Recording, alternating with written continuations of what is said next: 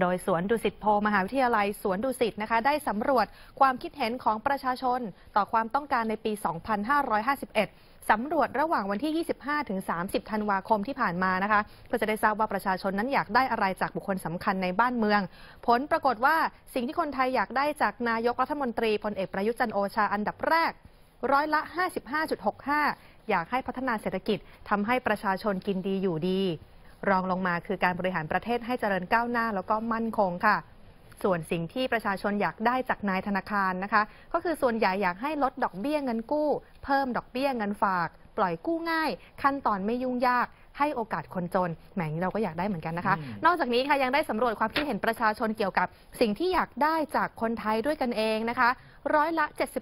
71.40 อยากให้มีความสามัคคี มีน้ำใจช่วยเหลือกัน รองลงมาก็คืออยากให้ทำความดีทำเพื่อส่วนรวมเห็นแก่บ้านเมือง